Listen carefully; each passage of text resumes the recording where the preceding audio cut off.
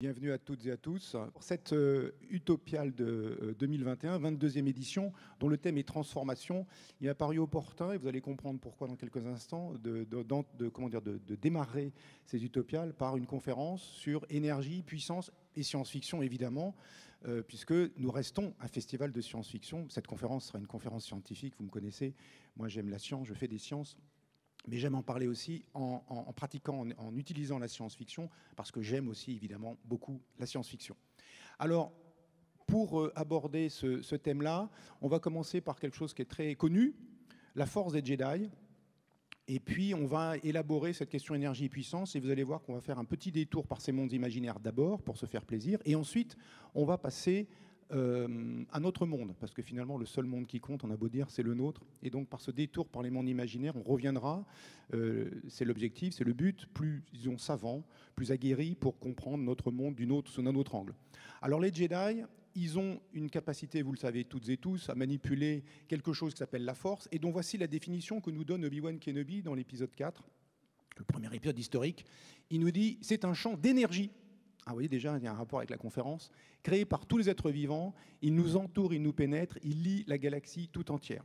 Donc la force est un champ d'énergie. Donc déjà, c'est un peu bizarre, enfin pour un physicien, parce que force et énergie, ce n'est pas la même chose en physique, ce sont des notions qui sont liées. Mais ce n'est pas la même chose. Alors que ça soit un champ d'énergie, ça c'est pour un physicien, par contre, ça, ça parle. Parce que qu'est-ce que c'est l'énergie en physique?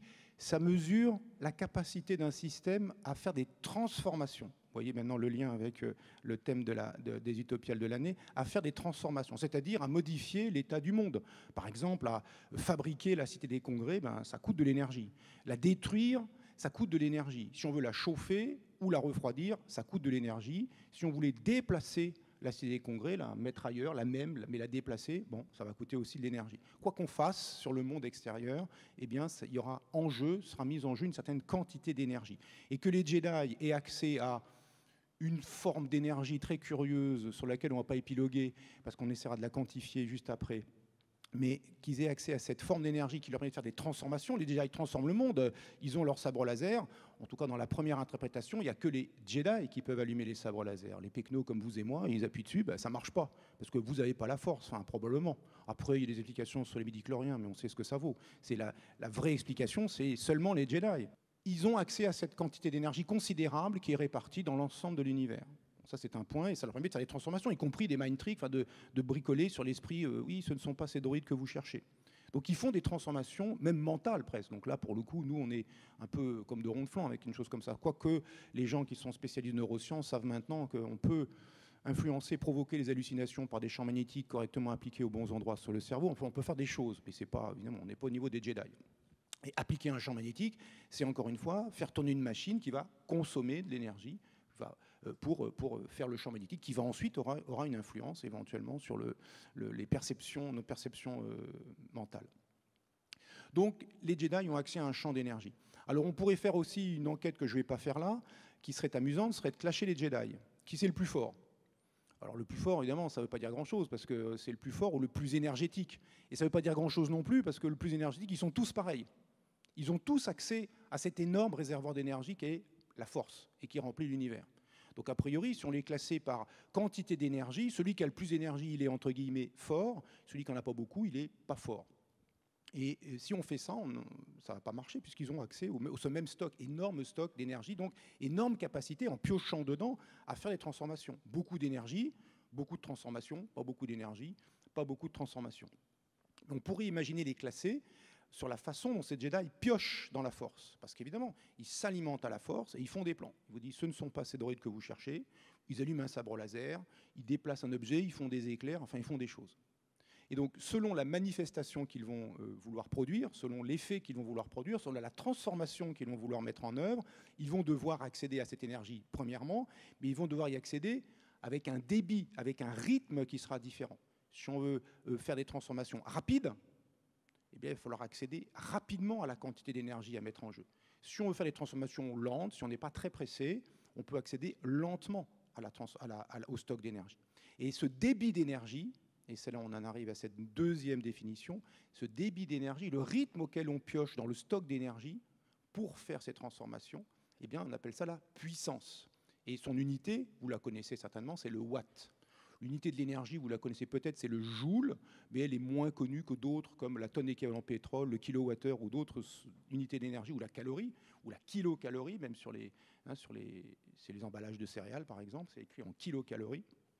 Donc voilà, c'est d'autres unités d'énergie qui, sont moins, euh, qui sont moins utilisées par les physiciens, qui, eux utilisent le joule, mais le watt, ça on le connaît, puisque ça donne la puissance d'une ampoule, d'un appareil électrique, de tout ce qu'on a euh, sous la main en général en appareil, mettons, électroménager. Donc les Jedi, on pourrait les classer en essayant de quantifier leur puissance en watts. Alors je vous fais grâce des premières réflexions, parce qu'on va passer directement à un, objet très emblématique qui sera le sabre laser. Mais en gros, Skywalker, quand il commence à s'entraîner, c'est 1 kW, 1000 watts. C'est pas mal, mais c'est comme un haltérophile. Quand euh, Yoda sort le vaisseau en mode euh, je te montre, jeune, jeune padawan, euh, je sors le vaisseau du marais pour, voir, pour te montrer comment on, sort le, comment on maîtrise la force, comment on manipule la force. Il le fait tranquillement, c'est 100 kW. Donc là, euh, Yoda, c'est une voiture. 100 kW, c'est une voiture. Yoda égale une voiture. Alors vous, si vous vouliez savoir combien vous, c'est de watts, alors il va dépendre, comme vous êtes vraiment nombreux, euh, il doit y avoir quelques sportifs dans la salle, il y en a d'autres qui sont certainement moins aguerris en sport, mais enfin, disons, un humain, disons, moyen, c'est à peu près 100 watts. 100 watts. On vous met sur un vélo, on va dire vas-y, pédale pendant plusieurs heures, essaie de pédaler aussi longtemps que tu peux, des heures si possible, vous ferez 100 watts. Typiquement. Donc vous voyez, Skywalker, c'est pas mal. 1 kW, c'est 1000 watts, c'est 10 humains. Yoda, c'est 1000 humains. Bon, c'est pas mal. Et puis, il y a ça. Alors, dans cette scène-là, on va essayer d'estimer la puissance du sabre laser. Parce que là, 1000 euh, watts, 100 000 watts, bon, ça reste on sait le faire, hein. c'est des voitures, c'est des humains, enfin des humains costauds. Les 1000 watts, c'est des humains costauds. Qui plonge son sabre laser dans la porte, il attend assez longtemps et la porte, elle fond. Alors on peut se demander assez légitimement quelle est la puissance du sabre laser, combien de watts dans cette situation-là, et sachant que la réponse non n'est pas donnée. Qui-Gon il dit pas haha, je vais vous patater bande de vice-roi. Je plonge mon sabre laser de 300 mégawatts, vous allez voir. Il dit jamais ça. Donc il faut faire un raisonnement de physicien pour essayer d'estimer combien d'énergie a été déposée dans la porte et puis en combien de temps. Combien d'énergie en combien de temps C'est vous donne un débit d'énergie, de, l'énergie par unité de temps, par seconde, et vous avez la puissance. Alors la scène, on voit qu'elle dure quelques secondes, donc la durée, on sait que c'est peut-être 3, 4 ou 5 secondes, quelques secondes, et après, il faut estimer combien d'énergie il faut pour faire fondre une porte. Alors évidemment, cette porte, on ne sait pas en quoi elle est faite. En métal, semble-t-il, c'est une porte de protection, donc on peut faire des hypothèses sur le métal utilisé. Bon, ce n'est pas un métal idiot comme euh, du plomb ou, du, je sais pas, ou de l'étain. L'étain, c'est un métal mou qui font à 200 degrés, on en fait des soudures, c'est pratique, mais bon, personne ne fait des portes de protection dans le monde en étain, par exemple. Donc, bon, on a le droit d'évincer des métaux, euh, disons, pas très raisonnables. On évince aussi, parce qu'on eh, est sérieux ici, on est aux utopiales, on rigole pas. On évince l'adamantium, le nobténium, enfin tous ces machins de la science-fiction qui marchent pas, on est bien d'accord. Hein. C'est de la science-fiction. Donc, tout ça, on l'évince. Parce que nous, on essaie de faire un raisonnement en tenant compte de, disons, du réel, en disant ce, que je vois là, c'est une scène réelle. C'est quelque chose qui se passe vraiment dans un monde qui m'est lointain, certainement, parce que c'est loin dans l'espace et dans le temps. C'était il y a très longtemps sur une très lointaine galaxie. On a trouvé le DVD et hop, on regarde, on dit oh, c'est super ce qu'ils faisaient, les gars. Et euh, on essaie de deviner comment ça marche. Donc c'est un métal euh, qui, qui, a une composition, un mélange des 92 éléments de la classification périodique des éléments. Alors euh, bon, on va, on va pas tous placer toutes les possibilités, il y en a certainement de nombreuses. On peut prendre de l'acier par exemple, parce que c'est un métal euh, commun qui est assez souvent utilisé en tout cas par nous humains pour faire des portes de protection. On pourrait prendre autre chose. Alors si on prend de l'acier, il faut savoir combien d'acier a été mis en jeu. Quelle masse d'acier alors pour ça, il faut regarder, il y a un cercle, là, il y a un arc de cercle, il a commencé à faire un, un rond, si j'ose dire. Puis après, il plonge son sabre laser et ça fait fondre jusqu'aux limites du cercle qu'il a dessiné. Donc avec ça, on peut regarder le rayon de courbure de ça, comparer à la taille du personnage. Le personnage, on sait combien il fait. Hein. C'est Wikipédia nous dit, il fait 1m83. Bon, c'est un humain de façon. Euh. Ah non, c'est pas un humain, je vous rappelle, c'est un Jedi. C'était il y a très longtemps dans une galaxie, donc c'est pas un humain, le gars. Bon, enfin bon, il ressemble à un humain. Alors par analogie, on va dire bon, il a la taille d'un humain mâle adulte il doit faire 1m75, la vraie valeur c'est 1m83. Et puis euh, on compare et on se dit, bon, le rayon du cercle c'est peut-être 80 euh, cm ou 1 mètre. Donc il a fait un cercle qui fait peut-être 1m50, 2 mètres de diamètre maximum, mais disons 1m50 de diamètre. Donc il y a un cercle qui a un certain circonférence, du coup, vous vous rappelez la circonférence du cercle, mais il a même surtout une certaine surface du disque, et puis il y a l'épaisseur. Alors, c'est quelle épaisseur de la porte? Alors, dans l'extrait, on ne voit pas la porte se fermer. Je n'ai pas pris cet extrait-là, cette petite partie-là. Quand la porte se ferme, c'est une grosse porte euh, d'acier supposons d'acier, très épaisse, comme les portes de coffre-fort. Donc on se renseigne, vous renseignez, Wikipédia votre ami, vous regardez les portes de coffre-fort de Fort Knox, par exemple, la banque d'or, enfin la réserve d'or américaine. Ils font 25 pouces. ça y est, c'est les Américains, ils mettent des pouces, euh, je convertis, blabla. Bref, on se fait une idée, vous auriez dit spontanément 70 ou 80 cm, c'est ça, c'est à peu près la valeur. Donc on a une porte qui fait, mettons, 80 cm d'épaisseur, c'est un disque qui est découpé qui fait 1m50 euh, de diamètre, ça fait un volume, vous vous rappelez du volume du disque du volume du, cylindre, c'est la surface du disque par l'épaisseur, bon, hop, ça fait volume, et l'acier, ça pèse 8 tonnes par mètre cube. L'eau, c'est 1 tonne par mètre cube. Bon, l'acier, c'est 8 tonnes par mètre cube. Donc vous connaissez le volume et la masse volumique, hop, vous avez la masse d'acier. Dans ce cas ici, 6 tonnes. 6 tonnes d'acier qui fondent dans quelques secondes. Ça, c'est vraiment impressionnant parce que l'acier, pour le faire fondre, qu'est-ce qu'il faut faire? Ben, Il faut, entre guillemets, mettre de l'énergie dedans. Il faut le chauffer jusqu'à atteindre quoi? Ben, La température de fusion. La température ambiante, on ne la connaît pas, mais comme ici, 20 degrés Celsius. La température de fusion de l'acier, c'est 1520 degrés Celsius. Donc il faut augmenter 6 tonnes d'acier de 1500 degrés. Donc ça, vas-y, ça coûte de l'énergie, je les calculs, ça se fait. Et puis ensuite, il faut payer un petit bac chiche de physicien qui s'appelle la chaleur latente. Je passe sur les détails pour que ça fonde. Mais ça se calcule. Voilà. Et pour ceux qui savent, j'ai même mis les valeurs. Bon, c'est pas grave.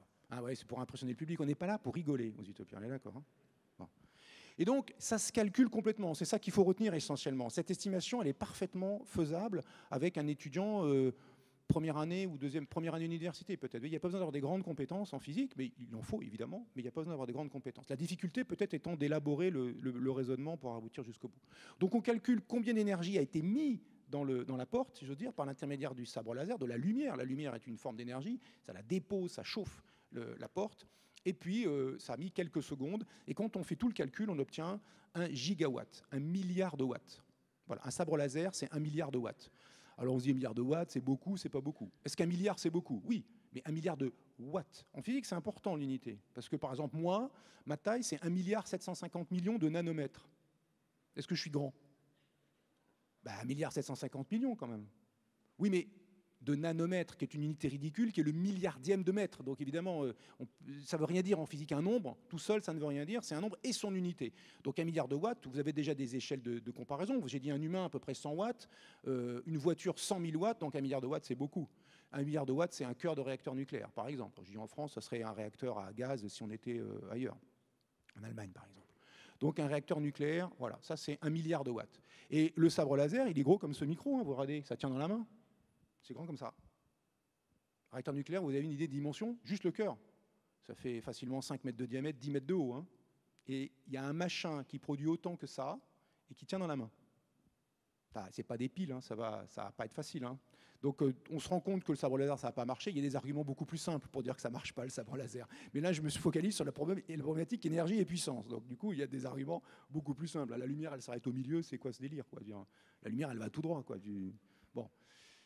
Donc l'idée étant pas de critiquer le sabre laser, qui est un objet très emblématique qu'on a tous envie d'avoir, même un faux qui ressemble un peu. Euh, d'ailleurs, j'en ai un. Bon, et donc du coup, euh, donc du coup, on fait ce qu'on peut. Hein. Et du coup, euh, l'idée, c'est voilà, de réaliser que ce sabre laser, c'est quelque chose qui est extraordinairement puissant. Et pour le volume, c'est pas juste puissant, c'est puissant et puis son petit volume. On peut remarquer aussi une chose, un détail qui a son importance quand même. Regardez où le Jedi met ses mains. On ne met jamais ses mains près de plusieurs kilogrammes d'acier en fusion à 1500 degrés Celsius. Ce n'est pas une bonne idée, d'accord? Bon, ça c'est un, problème. Alors du coup, lui, lui, il prend pas beaucoup de précautions.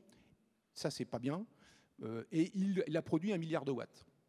Alors revenons sur une autre, un autre personnage qui prend des précautions et qui produit aussi un milliard de watts. C'est Octavius dans le Spider-Man 2. Il a mis des lunettes de protection. Eh, déjà pas mal. Nous produisons un surplus de 1000 mégawatts. Alors le mégawatt, c'est le million de watts, et donc 1000 mégas, c'est un milliard. Ils produisent exactement ce qu'il y a besoin de produire dans un sabre laser. Là, on la voit un peu, ses dimensions, elle est plus grande qu'Octavius, elle a l'air de faire euh, 2 mètres 50, peut-être 3 mètres de haut, à peu près autant en diamètre. Donc c'est une machine qui a une certaine taille, mais qui est plus grosse qu'un sabre laser. Et puis c'est produit par cette petite sphère qu'on voit ici, qui est le plasma de fusion, puisqu'il produit de la fusion thermonucléaire.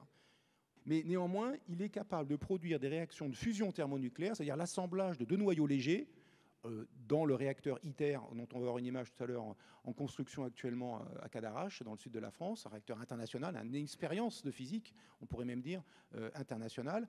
Dans le réacteur ITER, on fera réagir des noyaux de deutérium et de tritium, des isotopes de l'hydrogène, pour former des l'hélium 4, à vertu de production d'énergie, c'est-à-dire de récupérer le surplus d'énergie dans cette réaction de fusion. D'habitude, dans les réacteurs actuels, ceux qu'on utilise actuellement dans le monde, et en France en particulier, c'est le mode de fission nucléaire casse un gros noyau de l'uranium 235, on le brise en deux, et cette brisure coûte un peu d'énergie, mais en rend énormément plus, et c'est tout le, processus qui est à l'œuvre au cœur des réacteurs nucléaires à fission que nous utilisons.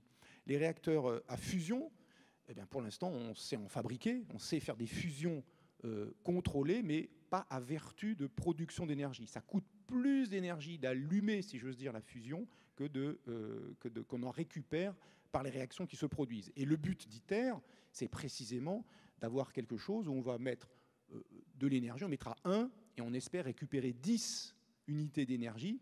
Et dans ITER, ça sera pendant quelque chose comme quelques centaines de secondes. Donc c'est vraiment une expérience.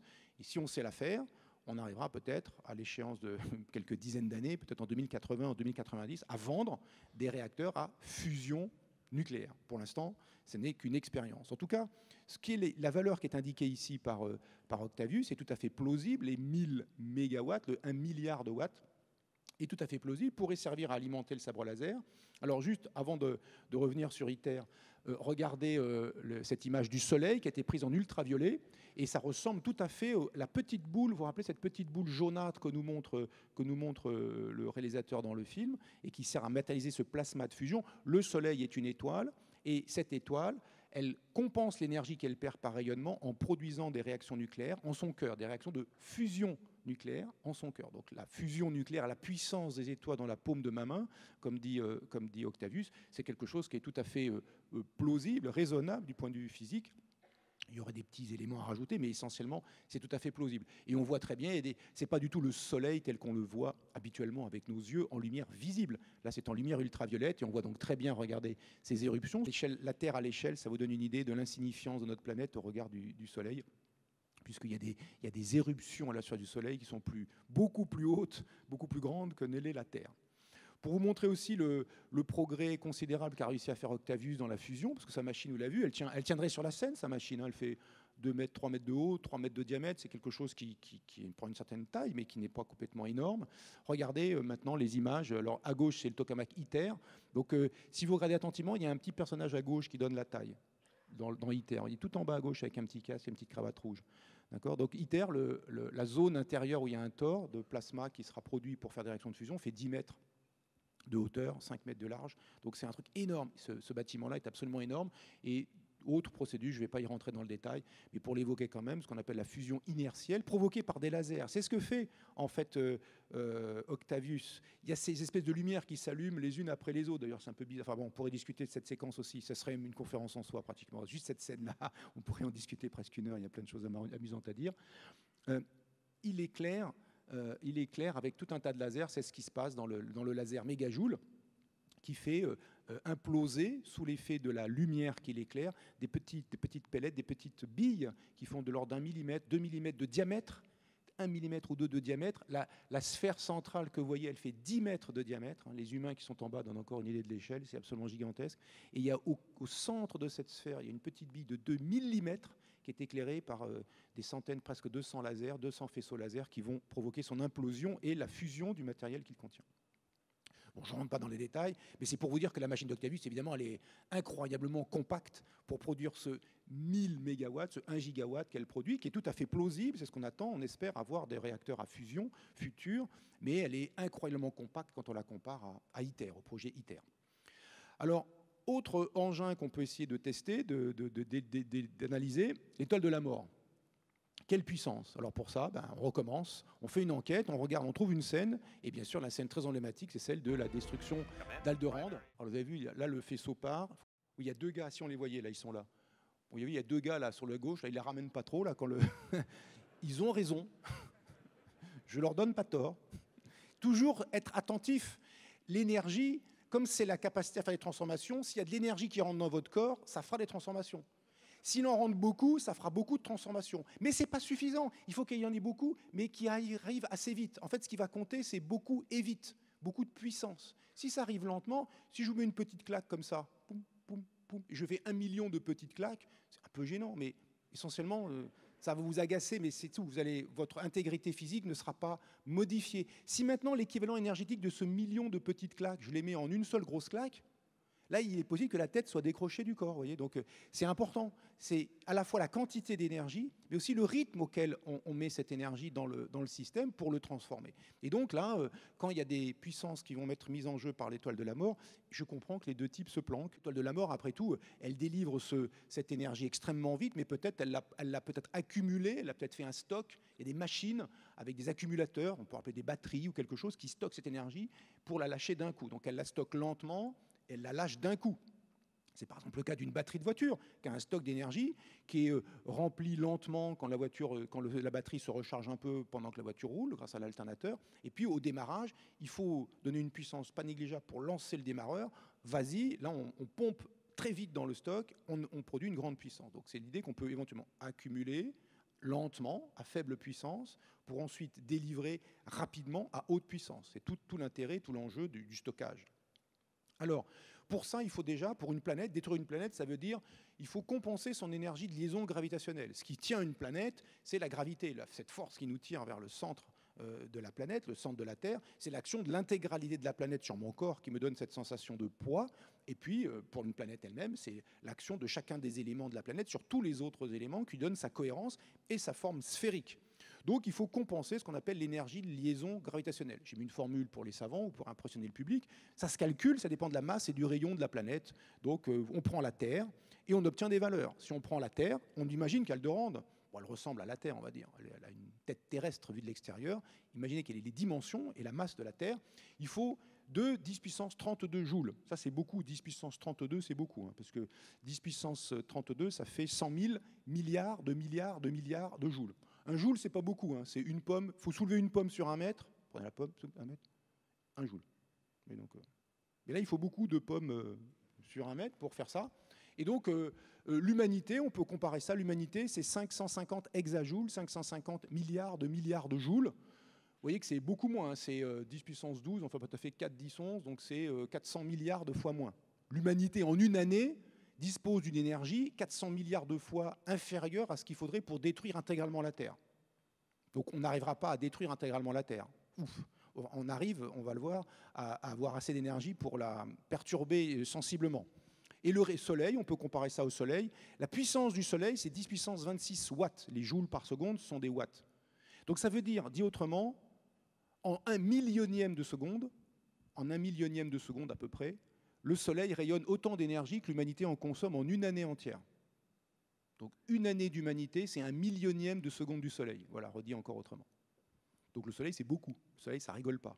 Et vous voyez que pour passer de ce que rayonne le Soleil, euh, la puissance du Soleil, pour remplir, si j'ose dire, le stock d'énergie gravitationnelle de la Terre, il faut à peu près 400, 500 000 secondes.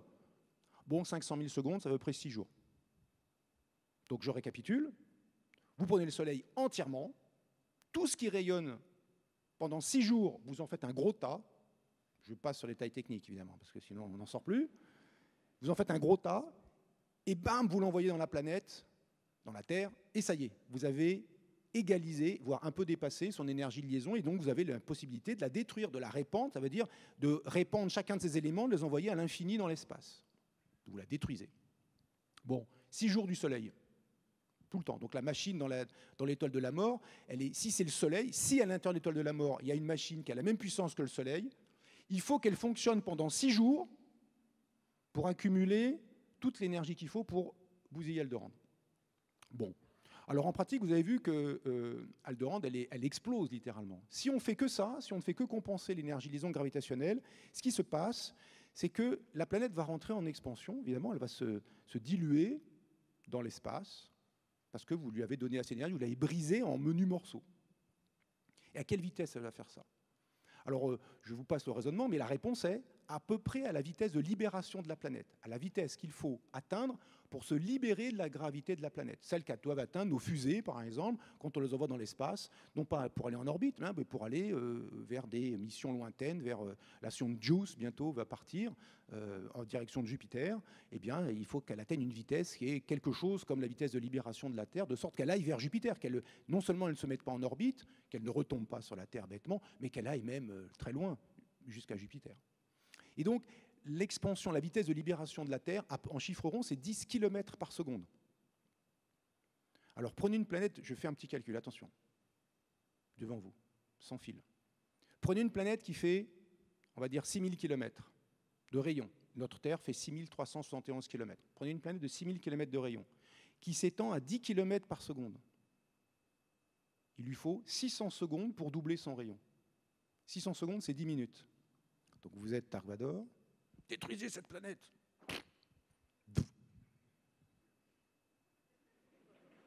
Dix minutes plus tard, le rayon a doublé. Là, vous commencez à rendre compte qu'il s'est passé un truc. Quoi. La planète, c'est plus la même. Hein. Dix minutes, alors peut-être au bout de cinq minutes, on commencera à bien voir les choses. Vous, voyez, c'est pas... vous avez vu l'explosion, elle, est instantanée. Là. Enfin, ça arrive et boum, ça part tout de suite. Donc on est d'accord que en plus de l'énergie de liaison de la planète, il faut donner aussi l'énergie de mouvement, que ça aille vite et que ça se fasse rapidement, en une, seconde, enfin une fraction de seconde peut-être. Alors, on peut euh, reprendre cette euh, image de l'explosion. Alors en fait, on peut même regarder, moi je suis dingue, je regarde image par image, tac, tac, tac, donc on voit la planète, et puis on la voit, euh, touc, touc, touc, elle grandit, puis après il y a les débris qui partent. Alors image par image, en disant, bon, la planète Aldorand, encore une fois, elle ressemble à la Terre, mettons qu'elle fasse à peu près la taille de la Terre, le rayon de la Terre, et puis image par image, on peut se faire une idée de la vitesse d'expansion. À quelle vitesse s'étend cette planète sous le coup du, turbo laser? Eh bien, on obtient quelque chose qui est énorme, qui est à peu près, son énergie cinétique, c'est 10 000 km par seconde. Ce n'est pas 10 km par seconde, c'est 10 000 km par seconde.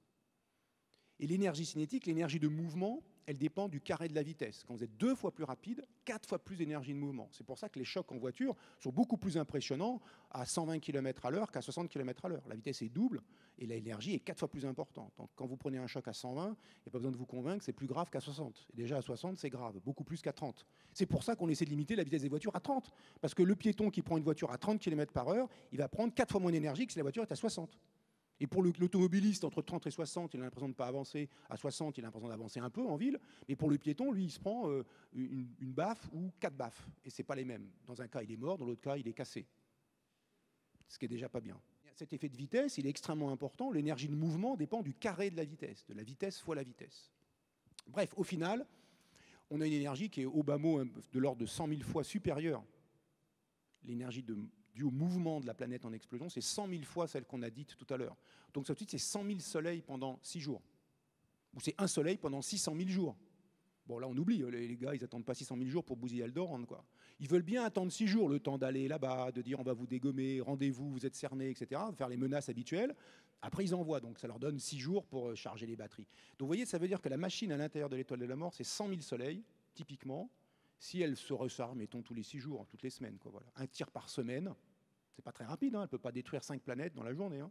Donc elle en détruit une toutes les semaines si elle veut. Et euh, il faut 100 000 soleils à l'intérieur. Vous voyez la taille du soleil la taille de l'étoile de la mort, vous la connaissez pas, mais moi je la connais, c'est 400 km, on peut la déterminer, je vous raconte pas comment, mais on peut la déterminer. Et puis on se dit, dans le film, il dit c'est une petite lune, il la compare à une petite lune. Donc l'idée, c'est un objet qui est gros comme un astéroïde, qui fait quelques centaines de kilomètres, de l'ordre de quelques centaines de kilomètres de diamètre. Le Soleil, c'est 700 000 kilomètres de rayon, 1 400 000 de diamètre, et une étoile qui a 100 000 luminées solaires, c'est une étoile beaucoup, beaucoup, beaucoup plus grosse encore avec pour conséquence qu'on ne sait pas faire rentrer le soleil, et a fortiori 100 000 soleils dans l'étoile dans de la mort. Dernière chose qu'on peut discuter, c'est les, questions du voyage interstellaire. Parce que là, évidemment, c'est pareil, c'est des machines, il faut de l'énergie pour se déplacer vite et loin. Et puis ça coûte en puissance, il faut le débiter rapidement si on veut faire un voyage rapide. Alors je garderai le voyage interstellaire euh, euh, raisonnable, celui qui va moins vite que la lumière. Alors on peut prendre d'abord les fusées euh, habituelles. Alors la, une des plus grosses fusées jamais construites, Saturne V, ça va changer bientôt peut-être avec les nouvelles fusées pour aller vers la Lune. Mais voilà, Saturne V au décollage. Saturne V au décollage, c'est assez impressionnant. Hein. C'est le premier étage, les cinq moteurs F1 du premier étage, ils font 120 gigawatts, 120 milliards de watts, pendant un peu moins que 3 minutes. Après, ils s'arrêtent, hein, il n'y a plus de carburant. 120 gigawatts, c'est 120 réacteurs nucléaires. C'est juste la plus grosse machine jamais construite par l'humanité. Et en 69, ça représente un peu moins de 2% de la puissance euh, consommée par l'humanité. Donc cette machine, pendant 3 minutes, elle a représenté 2% de l'humanité, à elle toute seule. C'est pas du tout négligeable. C'est une grosse machine, hein, c'est 3000 tonnes, c'est je sais plus combien, 100, plus de 100 mètres de haut. C'est une très grosse machine. Alors si on imagine maintenant, ce qui est intéressant, c'est pas aller sur la Lune, enfin si, c'est bien, mais enfin bon, nous ce qu'on aimerait, c'est aller vers les étoiles. Vers les étoiles, c'est loin. Les distances qui nous séparent des étoiles sont considérables. Et si on prend l'étoile la plus proche, qui est à peu près à 4 années-lumière, si on veut y aller en 40 ans, il faut en gros aller à un dixième de la vitesse de la lumière, 10 fois plus lentement que la lumière, qui, met, euh, qui va à 300 000 km par seconde. 300 000 km par seconde, un dixième, ça veut dire 30 000 km par seconde. 30 000 km par seconde, c'est en gros, euh, allez, on va être gentil, 1000 fois plusieurs centaines de fois, c'est certain, et jusqu'à peut-être mille fois plus rapide que le plus rapide des vaisseaux qu'on n'a jamais réussi à fabriquer euh, humainement. Donc c'est un, un, saut en vitesse absolument considérable d'atteindre ne serait-ce qu'un dixième de la vitesse de la lumière. Alors si on prend une charge utile de 1000 tonnes, 1000 tonnes c'est déjà un beau vaisseau, il y a de la communication, il y a des petites sondes, il y a des caméras, des télescopes, il y a tout un tas de matériel, mais il n'y a pas d'humain, il n'y a pas assez de masse pour faire vivre un humain pendant les 40 ans du voyage.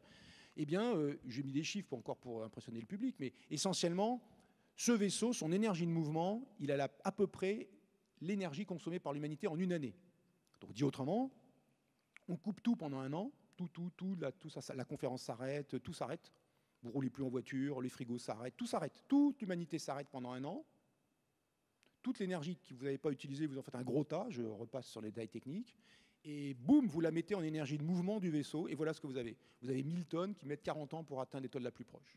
Donc vous vous rendez compte que c'est un budget énergétique qui est considérable au regard du budget humain, et on ne risque pas de le faire pour l'instant parce qu'on n'a pas assez d'énergie. Voilà le point qu'il faut retenir, c'est que finalement ces engins qu'on a discutés avant, ils sont impossibles d'une certaine façon. Ils sont pensables encore une fois, parce qu'on a pu les analyser à l'aune de la physique actuelle. Mais ce qui fait qu'ils sont si différents de nos moyens actuels, c'est qu'ils mettent en jeu des quantités d'énergie et de puissance surtout considérables au regard de ce, dont, euh, nous disposons. Et si on veut en fait que le budget énergétique d'un voyage interstellaire, là il représente en gros 100% euh, du budget énergétique humain, si on veut qu'il représente 1 ou 2 de sorte qu'on se dise oui, euh, je peux détourner 1 ou 2% de mon énergie pendant 4 ans pour, euh, pour faire un voyage interstellaire, eh bien, il faut multiplier mot, et pas Obama, mot par 100 le, la quantité d'énergie dont on dispose, au moins par 100, au moins par 100, pour que on passe de 100% à 1%. Et donc, si on fait ça, eh bien, avec le, rythme de croissance de notre consommation d'énergie, c'est entre 1 et 1,5% par an, depuis déjà euh, pratiquement la fin de la Seconde Guerre mondiale. Il faut trois siècles. Donc je vous donne déjà une estimation de dans combien de temps, si à toute chose égale par ailleurs, dans combien de temps on pourra faire un voyage interstellaire lent avec 1000 tonnes de charge utile, disons trois siècles. Et ce n'est pas une question de technique, je ne vais même pas parler de motorisation, hein. juste est-ce que vous avez l'énergie pour faire ça? Oui, on peut, non, on ne peut pas, c'est réglé. Hein. c'est pareil, vous voulez une belle maison un million d'euros. Hein? bon, ben, le problème, c'est est-ce que vous avez le pognon? Si vous ne l'avez pas, non. Voilà. Et c'est un problème de débit, parce que si vous n'avez pas le pognon, vous l'empruntez, mais vous le rendez. Ça s'appelle un emprunt. Et vous le rendez avec un saint débit. Est-ce que vous avez la puissance? Est-ce que vous avez le bon débit d'argent? Ben, Quand on est smicard, on ne peut pas emprunter un million d'euros. Quand on gagne, euh, comme certains charlots, euh, qui sont... eh ben, on peut payer un million d'euros en les remboursant à 10 000 par mois, par exemple. Donc vous n'avez pas la puissance. Donc vous, vous êtes foutu, vous n'avez ni l'énergie ni la puissance. D'accord?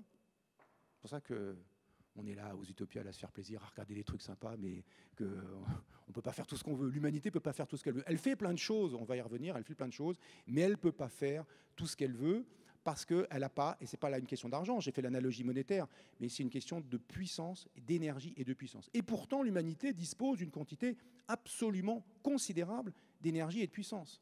Regardez, sur cette échelle, les, numéros 9, 10, 11, 12, c'est les puissances de 10. 10 puissance 9, 1 milliard. 10 puissance 10, 10 milliards. 10 puissance 11, 100 milliards. 10 puissance 12, 1000 milliards, etc. etc. Regardez, on va jusqu'à 10 puissance 27, 1 milliard, 2 milliards, 2 milliards. Et les points, c'est différents phénomènes naturels ou humains. Donc à chaque fois qu'on passe d'une graduation à une autre, on multiplie par 10. Hein. c'est une échelle qu'on appelle logarithmique. Chaque fois que je passe d'une graduation à une autre, je multiplie par 10 la quantité d'énergie mise en jeu. Alors regardez, ça c'est un éclair, ça c'est une tornade, ça c'est un orage, un bon orage. Ça c'est la bombe d'Hiroshima. En rouge, c'est les manifestations humaines de, production d'énergie. L'énergie continentale, l'énergie de mouvement de la tectonique des plaques. Faire bouger les plaques, elles bougent lentement, mais il y a de la masse, eh bien ça coûte, c'est cette énergie qui est mise en jeu annuellement. une bombe d'un million de tonnes, de, une bombe de fusion thermonucléaire. Donc on sait faire de la fusion thermonucléaire à vertu euh, énergétique, si j'ose dire, mais non contrôlée. Ça s'appelle une bombe à fusion thermonucléaire. L'énergie cinétique d'un ouragan, l'explosion du mont Sainte-Hélène en 1980. Le mont Sainte-Hélène a gagné 100 mètres d'altitude. Hein. donc ça, a poussé. La Tsar Bomba, la plus grosse bombe thermonucléaire jamais euh, utilisée, testée par les soviétiques en, octobre 1961. Euh, ben justement, le 30 octobre 1961, on va fêter les 50 ans, tiens, je n'avais pas remarqué, c'est les 50 ans de la Tsar Bomba. Euh, quand ça a explosé, renseignez-vous là-dessus, vous verrez, c'est assez impressionnant. Les Russes ont, libéré un certain nombre de films, de vidéos qui avaient été prises à l'époque de ça. C'est très, très impressionnant. L'énergie sismique annuelle mondiale moyenne, ça veut dire pas les gros séismes spectaculaires qui arrivent de temps en temps, c'est l'énergie sismique moyenne. Le séisme de l'Alaska en 64, le Chili, le plus gros séisme en 1960, magnitude 9,4, quelque chose comme ça. Vous voyez, donc euh, ça c'est comme très impressionnant, un séisme comme ça. Un ouragan pendant 10 jours, ça c'est la consommation des USA en un an. Ça fait pas rigoler. Hein. Et ça c'est la consommation du monde ça ne fait pas rigoler non plus. les USA, c'est à peu près 100 euh, hexajoules. Le monde, c'est 500 hexajoules. Les USA, c'est 100. Donc un cinquième, c'est les USA. La France, c'est 10. Donc c'est un dixième, un, cinquantième, excusez-moi, un cinquantième euh, du monde, 2%. Ça, c'est le flux géothermique annuel, l'énergie qui remonte des entrailles de la Terre, sur toute la surface du globe. Vous voyez que, regardez, si on était capable de récupérer toute cette énergie, ce qui en pratique est impossible pour plein de raisons, bon technique, on récupérait euh, assez pour faire tourner l'humanité en une année. Juste le flux de chaleur qui remonte des entrailles de la Terre depuis, euh, enfin, en une année, en une seule année. Ça, c'est un jour d'ensoleillement sur Terre. Ça, c'est la météorite Crétacé-Tertiaire, celle qui a bousillé les dinosaures. Ça rigole pas. Vous voyez qu'on n'a pas les moyens. Quand même, on sent bien qu'il y a un petit écart entre ça. C'est-à-dire, si ça nous arrive dessus, euh, nos petits moyens, ils vont pas faire grand-chose. Hein. C'est toujours pareil. Vous voulez, vous voulez éviter qu'elle arrive, il va falloir mettre en jeu des énergies qui sont au moins comparables à celle qui est mise en jeu par le phénomène que vous voulez euh, contrer. Quoi. Donc, on n'a pas les moyens. Si ça se reproduit, adieu.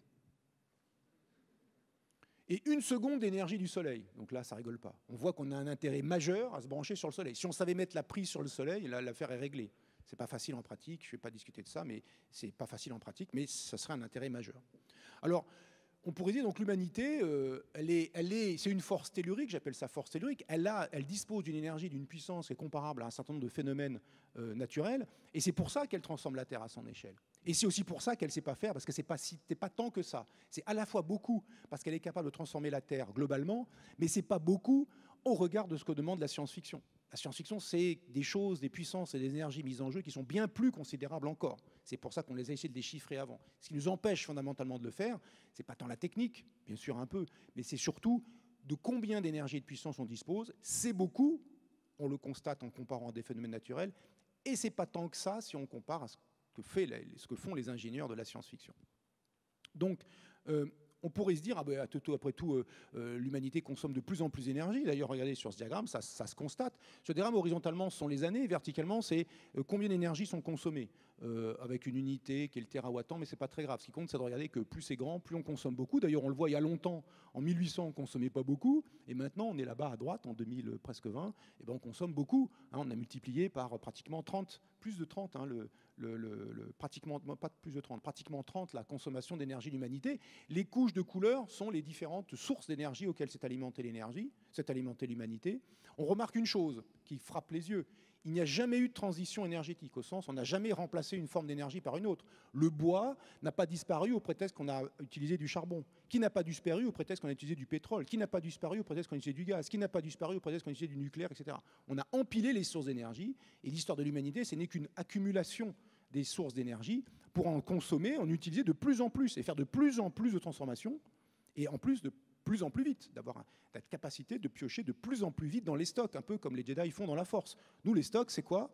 Eh bien, essentiellement, alors d'abord, il y a notre puissance, mais les stocks, essentiellement, ce sont euh, ces fossiles qui représentent le 80% de l'énergie dont dispose l'humanité actuellement. Euh, notre consommation d'énergie depuis l'ère pré-industrielle a été multipliée en gros par 30.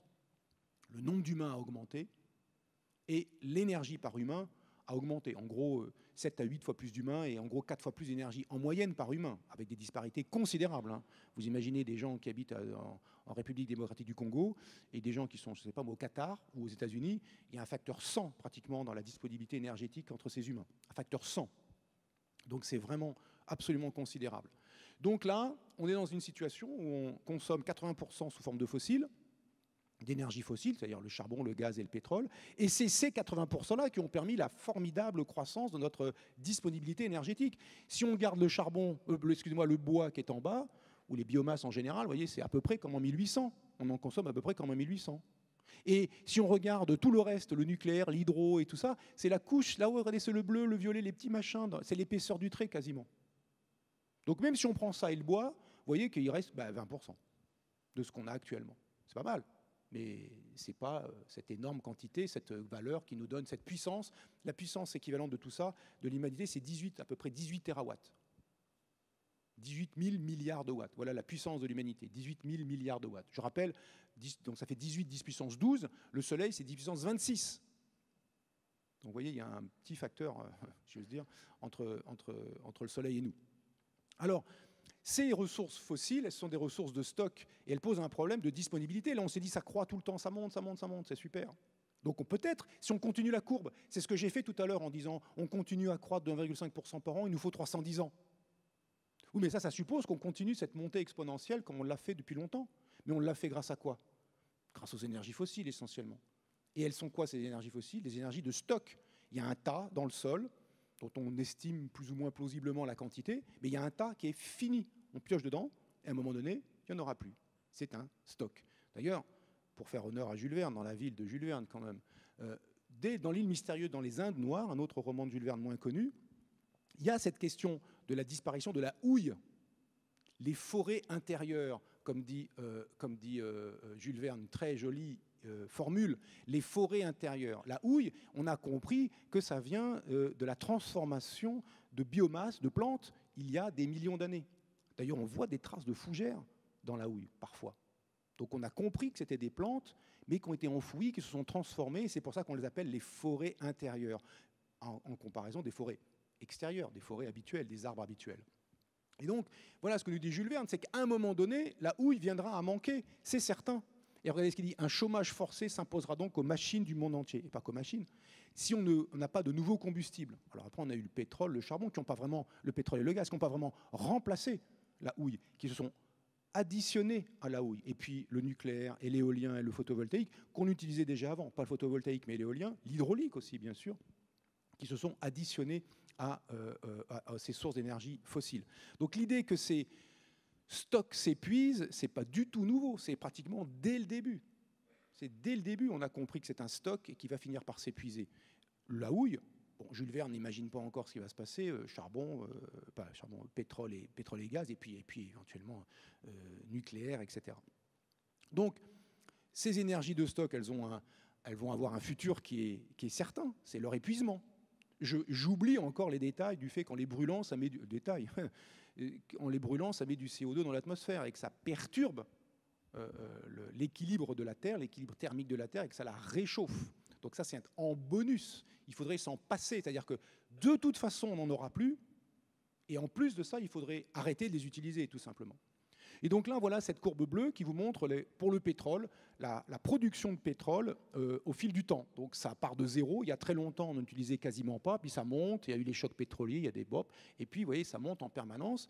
Et, euh, euh, cette, cette projection, on peut le faire en, estimant ce qu'on appelle le rapport réserve sur production. Si je continue au rythme actuel, combien de temps il me reste dans les réserves estimées, euh, qu'on appelle en fait prouvées, de pétrole? Bon, eh euh, si je continue à consommer comme maintenant, eh bien, euh, il reste environ 53 ans de pétrole. Bon, ça veut dire que ça ne s'arrêtera pas comme ça, mais si je continue à la fin, il n'y en a plus, et ça me faut 50 ans. Incidemment, les autres sources de stock, c'est le charbon, le gaz, évidemment, et aussi le nucléaire. L'uranium, ben, c'est un stock, c'est un minerai. Alors on pourrait dire, on va continuer comme d'habitude. Regardez, je, prolonge un peu froidement la courbe bleue en disant, vas-y, on continue, on monte, on monte, on monte, on monte, on monte. Puis à un moment donné, on épuise le stock. Et donc on retombe de plus haut. Simplement, on tombe plus tôt et de plus haut. C'est tout. Mais la surface sous la courbe, qui vous dit la surface sous la courbe, qui vous donne une idée de la quantité que vous avez consommée, c'est la même. Il y a le stock, et puis une fois qu'il est fini, il est fini. Hein. Quand il y a 2 kilos de pâtes à la maison, quand il n'y a plus les 2 kilos, ben, il n'y a plus les 2 kilos. Vous pouvez les consommer au rythme de 100 grammes par repas si vous êtes tout seul. Puis si vous invitez des potes à manger, vous êtes 10, et puis hop, il y a un kilo qui part d'un coup. Même euh, un peu plus qu'un kilo probablement qui part d'un coup. Et donc là, votre stock, il s'épuise plus vite. Et plus probablement, ça sera un truc comme ça, avec un maximum, ça décroîtra lentement. De toute façon, ce stock est fini, et en un temps fini, il n'y en aura plus.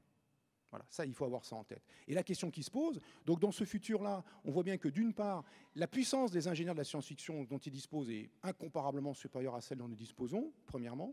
Deuxièmement, est-ce qu'on pourra atteindre cette puissance? Ben non, non, parce que ça nécessiterait de faire une croissance de notre consommation d'énergie, de notre rythme de consommation d'énergie qui est, disons, x100, au minimum x100, et on a fait seulement x30 depuis le début de l'ère industrielle, mais disons qu'il va falloir faire le même effort. Cet effort a été fait sur des énergies de stock que sont les énergies fossiles, charbon, pétrole et gaz, et que ces énergies fossiles ont vertu à s'épuiser. Et donc, euh, le futur de ces énergies, il est... Euh, j'ai mis ces dessins-là pour faire une représentation, ce n'est pas du tout une prédiction, mais la prédiction certaine, c'est qu'elles s'épuiseront et au bout d'un certain temps, il n'y en aura plus. Et elles représentent, ces énergies fossiles, 80% de notre disponibilité énergétique actuelle. Donc on est deux fois pas près de faire ce que font les ingénieurs de la science-fiction en termes énergétiques. Et puis une question qui reste aussi intéressante à poser, c'est que nos sociétés modernes se sont construites ici, quand c'était dans la partie où ça monte, comme des malades, on dit ouais, il y en a plus, à fond, à fond, fond, ça ruisselle. Vous avez remarqué, ça ruisselle. Vous avez remarqué? Non, ben moi non plus. Mais disons que voilà, plus d'énergie, comme malgré tout, euh, euh, les sociétés modernes entre l'ère pré-industrielle et même le, début du XXe siècle et maintenant, les possibilités sont considérablement développées d'action sur le monde, hein, euh, téléphone portable, ordinateur, voiture, avion, enfin tout ce que vous voulez, penser à un truc, et voilà. Ça résulte de cette disponibilité énergétique absolument considérable, fondée sur les, sur les trucs. Et donc du coup, la question c'est, qu'est-ce qui va se passer là, quoi? Ça c'est une vraie question, c'est même la question qu'est-ce qui va se passer quand il y aura de moins en moins? On sera dans un monde où ça ne sera pas euh, la, disponibilité qui augmente en permanence, c'est la disponibilité qui diminue en permanence. Et ça, c'est une vraie question politique, sociale. Et la science-fiction, on a discuté. Vous verrez dans le programme des Utopiales, vous avez déjà attentivement regardé, il y a un certain de tables rondes qui vont discuter de ces questions, de bien d'autres, mais de ces questions en particulier. Il y a aussi un, un, documentaire, je vous recommande, et maintenant que l'on sait, qui va être, euh, diffusé euh, dans, une salle dans une des salles de cinéma des Utos, euh, lundi, je crois, lundi à 15h45. Allez voir ce documentaire. Il est extrêmement intéressant. Donc on voit que ça, voilà, cette question-là, vous voyez comment on a fait? Je ne vais pas vous je ne vais pas plomber l'ambiance, on est aux utopiales, on est content des utopiales, mais on est là aussi pour réfléchir. C'est ça la, force des utopiales, enfin que j'espère qu'il vous touche, que j'espère qu'il vous plaît, et c'est comme ça qu'on travaille avec le, donc quand on fait le programme avec, avec Jeanne de Batz, notre excellente déléguée artistique, c'est qu'on essaie de se dire, il faut à la fois se faire plaisir parce que la science-fiction, c'est ce qu'on aime, c'est ce que vous aimez, c'est pour ça que vous êtes là. Et deuxièmement, il faut que ça serve aussi à réfléchir. La science-fiction est un outil formidable pour euh, problématiser des situations, euh, en les mettant dans, des dans, dans, un monde imaginaire, dans un monde qui n'est pas notre monde d'une certaine façon, mais qui ressemble par certains aspects, qui peut ressembler, et ça permet de se poser des questions de façon décalée pour revenir sur notre monde de façon plus, euh, comment dire, euh, euh, aguerri, de façon, avec un esprit éclairé différemment. Et c'est là toute l'ambition des utopiales, c'est justement d'éclairer, de nous éclairer, de vous éclairer, et que vous participiez aussi, bien sûr, parce que en posant des questions, en intervenant, en discutant avec nos, nos, invités, eh bien, vous participez aussi à cette réflexion sur le monde que l'on peut faire grâce à la science-fiction. Et donc, finalement, la conclusion, eh bien, c'est, euh, je répète, pour la physique, si vous ressortez avec un message de physique, d'abord, hey, on est en physique. L'énergie quantifie la capacité à faire des transformations. Beaucoup de transformations, beaucoup d'énergie. Transformation, c'est n'importe quoi qui agit sur le monde, n'importe quoi. La puissance, c'est le rythme de ces transformations. L'énergie, c'est en joules, la puissance est en watts. Alors la puissance, l'énergie, c'est en joules, il y a les kilowattheures, euh, il y a les calories, les kilocalories, bon, il y a les tonnes équivalent pétrole, il y a du monde. Mais la puissance, tout le monde est en watts. Dans l'ASF, on a vu que ces transformations sont énormes vraiment énormes et rapides. Donc elles sont à la fois énergétiquement importantes, beaucoup d'énergie mise en jeu, à un rythme rapide, une grande puissance, très très très grande puissance. Et euh, ce qui nous manque, c'est en fait euh, cette capacité à mobiliser ces quantités gigantesques d'énergie et de puissance. Mais les humains ont quand même des disponibilités énergétiques tout à fait étonnantes. Et la question qui se pose, c'est Deux, une constatation et une question. La constatation, c'est cette disponibilité énergétique et cette puissance de l'humanité a permis d'agir de manière extrêmement, de manière globale à l'échelle de la planète. Ça, c'est déjà un point. C'est pour ça qu'on arrive à transformer la planète globalement, à la fois en allant ici ou là, en construisant des villes, en faisant des bateaux, des machins, des trucs, mais aussi en la transformant dans son environnement, en détruisant des environnements, en mettant des matières dans l'atmosphère qui vont pour partie aller dans les océans, mangées par les plantes, mais qui vont s'accumuler dans l'atmosphère, les gaz à effet de serre, le CO2 en particulier, et qui transforment notre planète globalement sous l'influence de l'humanité. Ça maintenant, c'est dit dans le dernier rapport du GIEC. Hein. C'est sans ambiguïté le réchauffement climatique est d'origine humaine, sans ambiguïté. Ce n'est plus une discussion. Donc l'humanité, c'est parce qu'aussi elle dispose d'une grande énergie, d'une grande puissance, qu'elle transforme la planète globalement. C'est pas assez pour faire la science-fiction, l'ingénierie de science-fiction, mais c'est assez pour transformer notre planète. Et la question qui se passe, c'est est-ce qu'on passera le prochain siècle du point de vue énergétique? Et du point de vue de notre environnement La question fondamentale, elle est là. C'est rien de moins que l'habitabilité même de la planète qui est en jeu. Grosse question, ça peut être un gros stress, mais ça peut être aussi évidemment cette prise de conscience, une, interpellation pour l'action et pour agir dans un sens qui serait vu d'ici de la science-fiction, mais qu'on ne peut qu'appeler de nos voeux, qui ferait que ce monde reste habitable, reste humain et euh, euh, reste, oui, habitable et humain pour nos descendants, dont certains sont déjà là et dont les autres arriveront bientôt. Et donc, c'est tout le bien que je peux leur souhaiter, que nous prenions conscience de ça globalement et que l'Isopial participe à cette prise de conscience et agisse dans ce sens-là. Eh bien, voilà, comme président, c'est toute mon ambition. Et donc, je vous souhaite euh, des bonnes utopiales et je vous remercie infiniment de votre présence et de votre écoute. Merci à vous.